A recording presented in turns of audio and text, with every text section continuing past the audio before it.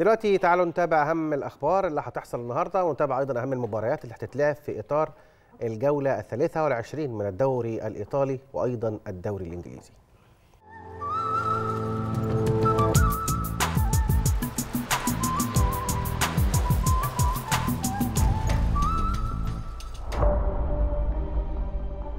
بالنسبة للأخبار اللي هتحصل النهاردة فهتشهد مكتبة الإسكندرية ختام مسابقات بطولة مصر 19 FIRST LEGO League تحت عنوان FIRST LEGO League Challenge للفئة العمرية من سن 10 ل 16 سنة. وده على مدار ثلاثة أيام خلال الفترة من الاثنين 5 فبراير حتى الأربع 7 فبراير 2024 على فترتين صباحية ومسائية.